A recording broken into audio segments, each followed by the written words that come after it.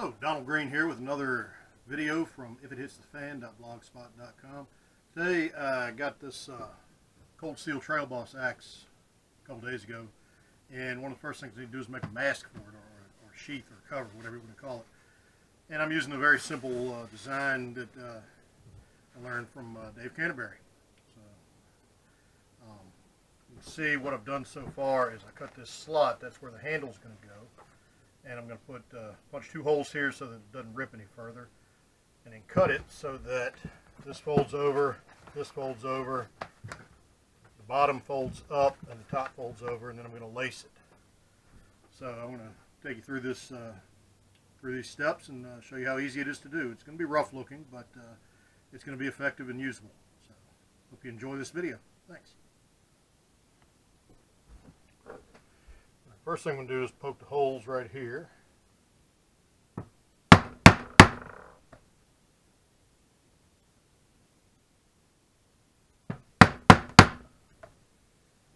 And what that's going to do is again keep the uh, keep that cut that I made from splitting any farther. Run this in here. And it'll ride right there. So I need to cut some material because I got way too much on here. So I need to get it right here where the uh, end of the axe is. I'm going to overlap it just a little bit.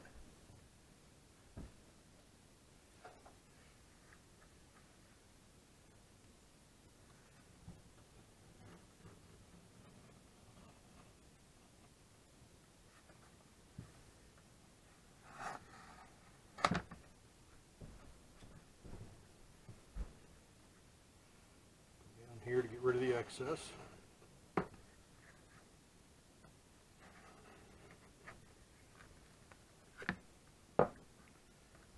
That'll fold over like that. So of course I gotta get rid of this upper part too.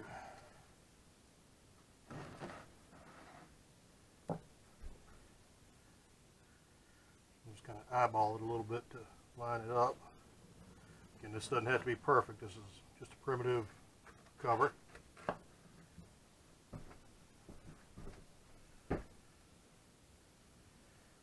Better to have a little bit extra than not enough because you can't add leather to it, but you can always take some off if you need to.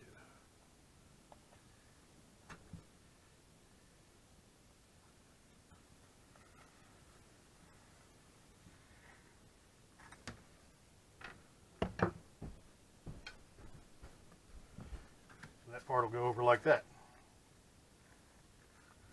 This part will go over like that. So let's get the backside front next.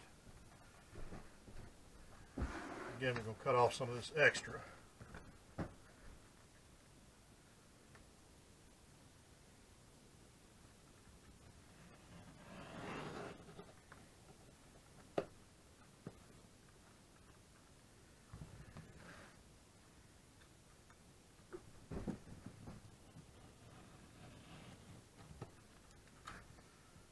This knife I'm using, it's uh, Mitch Mitchell from Native Survival. Uh, he designed it and sells it on his website. It's got it for Christmas, so I haven't used it a whole lot, but it's a nice Scandi grind. Micarta, full tang, spacers, good solid uh, pins holding the handle on, and uh, so got brass bolsters in here for the uh, for a lanyard or something. Nice uh, 90 degree angle here. It's very flat, very as you can see, it's real sharp. So, got this part, this part here.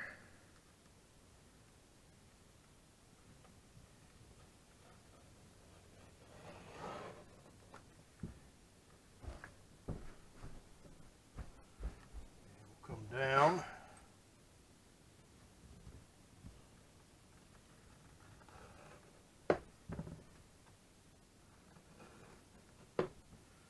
hard work on this angle here with the camera, but uh,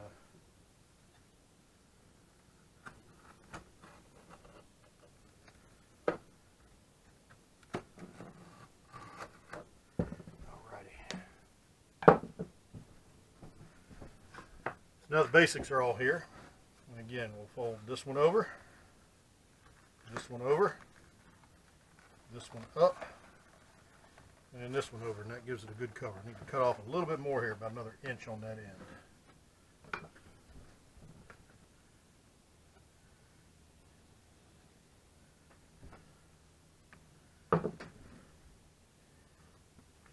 One, two, up, and over.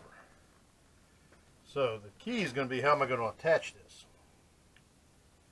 So what I'm going to do is I'm going to sew this deer antler button right here. And I'm going to punch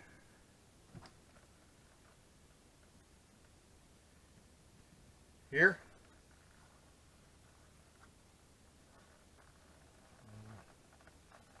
There.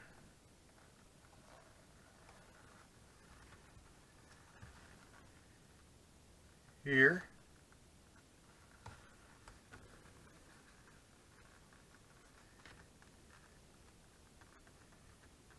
And here, and we'll see how they line up. Know, the old saying, uh, measure once, cut three or four times, and cuss a lot.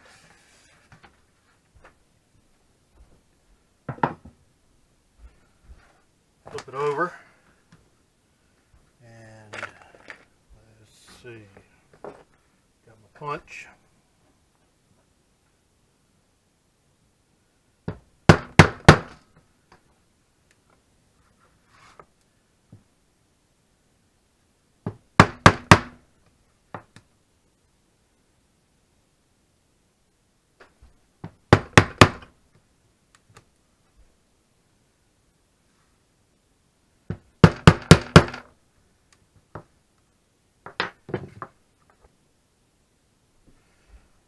Alright, so I've got my holes punched. Flipped it back over. Run this through here. And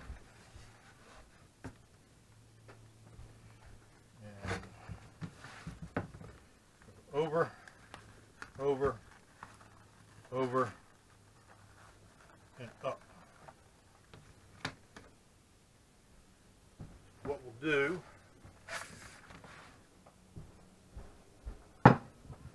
We'll use a length of 550 cord. A little bit longer is better than a little bit too short. And I'll show you why, the method to my madness with that here in a minute.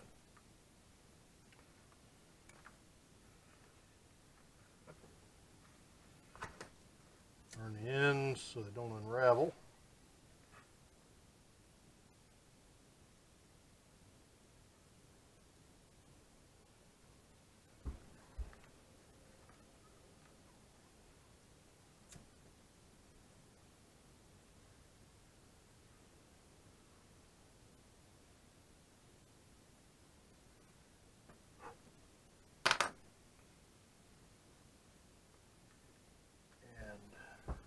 Going to be the first one that we do.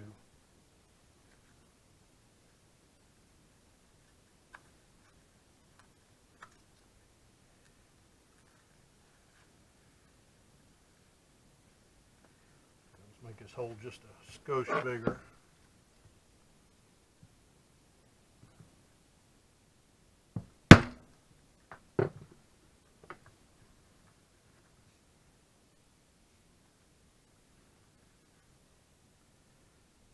tie it off down on this side.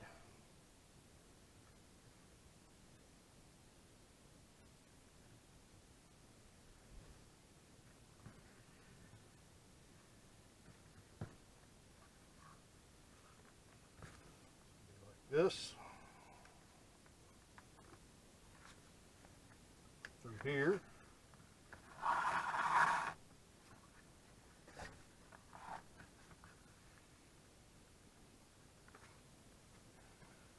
through here.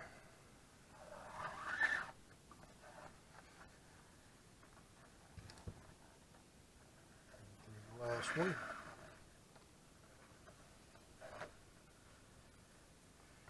And so this deer button, deer antler button right here to wrap it around.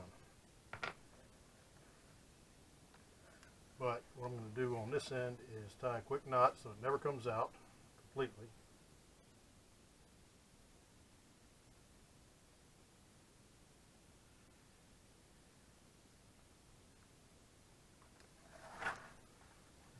Fold it.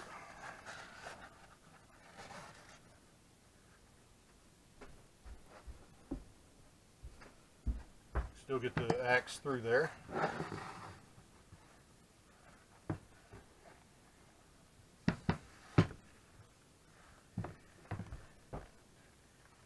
Again.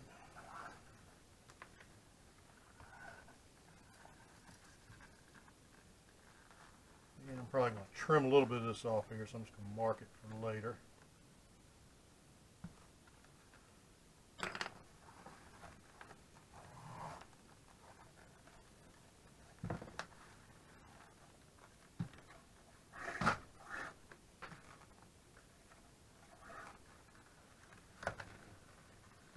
Alright.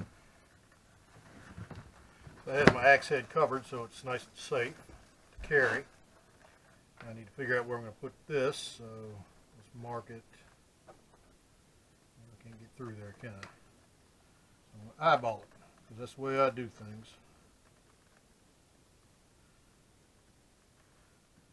Take it back out.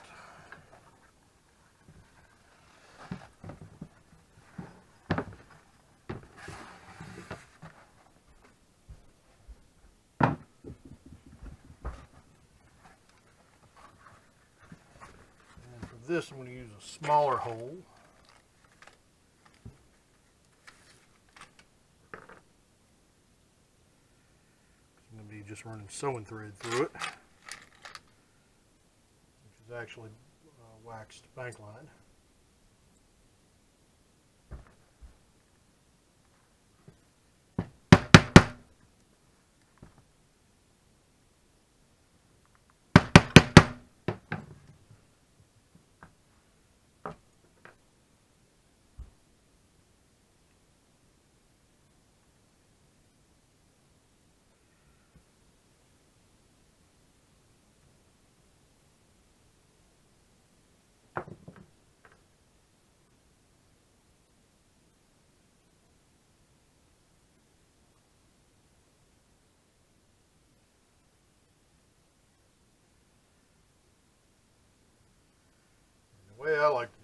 Double up.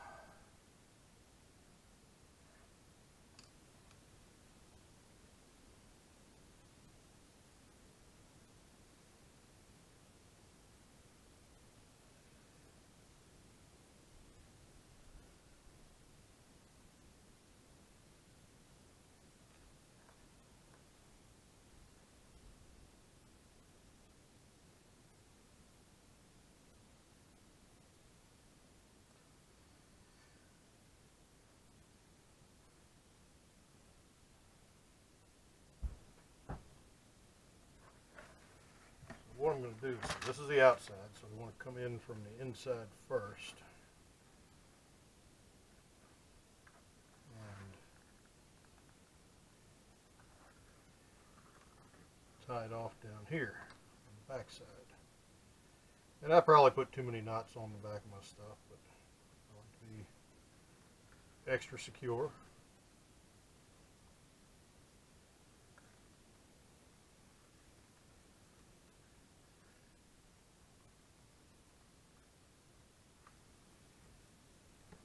It's not going anywhere on that side. I'm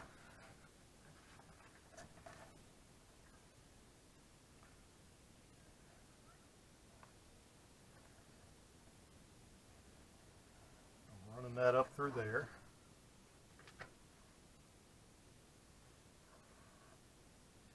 And here's where I usually stab myself a couple times. Now what we want to do is I'm going to put a little bit of piece of leather under here because I don't want to get it too tight. I have room to run the 550 cord.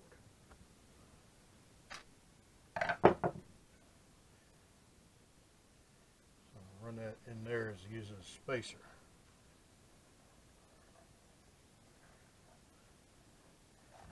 And I just run a couple more passes through there.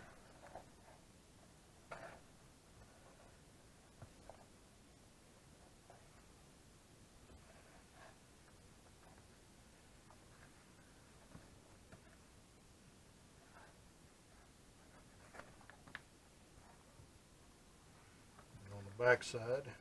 Maybe let's do one more just for giggles.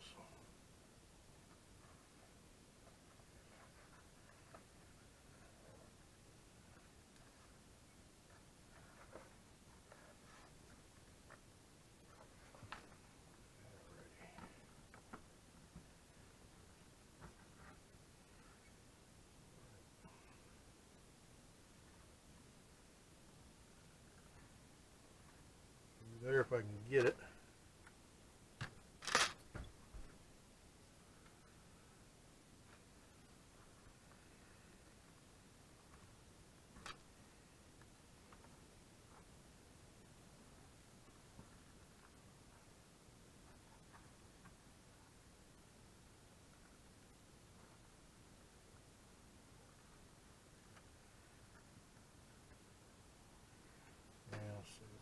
Through the through the loop so we can kind of half hitch it a little bit.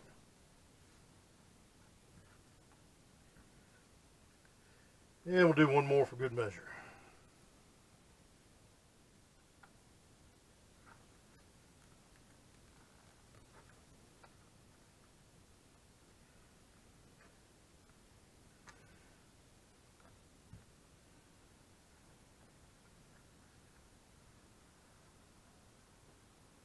Half hitch it again.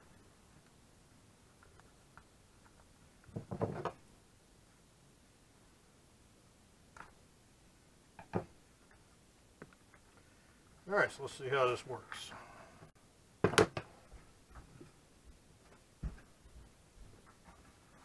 Axe through.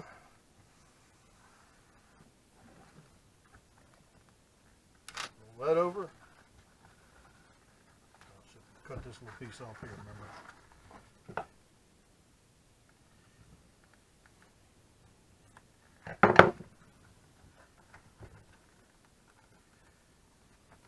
This one goes up.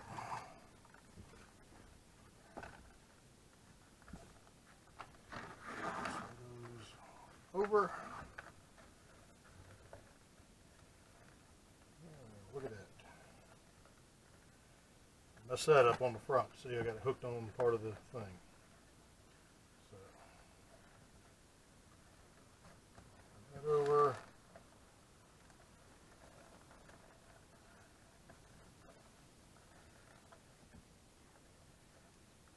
Loop it under there.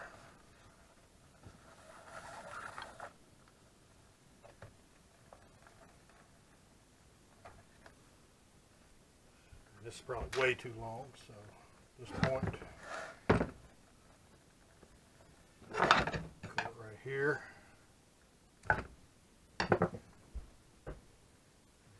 Burn it again.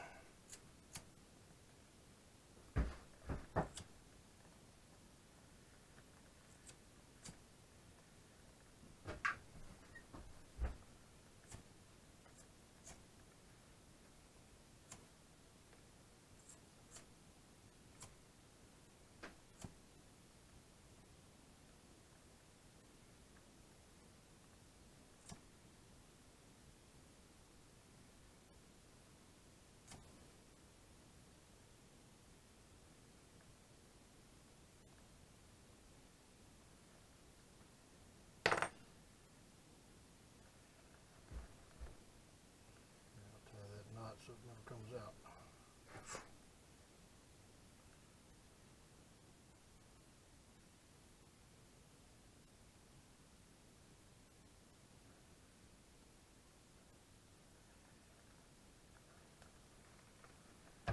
Alrighty, I've got a axe cover that's gonna, or a mask that's gonna keep my axe protected, protect me from getting cut accidentally, and it uh, kind of looks pretty cool. You can make it as fancy or as primitive as you want. Uh, I've seen them done with raw hides. I've seen them engraved and stamped and sanded and made beautiful. So uh, this one I'll probably finish with some beeswax uh, to seal the outside of it. But uh, for the time being, that'll do me. So has been another If It Hits the Fan.blogspot.com video. I'm Don Green. I thank you for joining me, and I thank you for watching our videos and checking out our blog. Have a good day.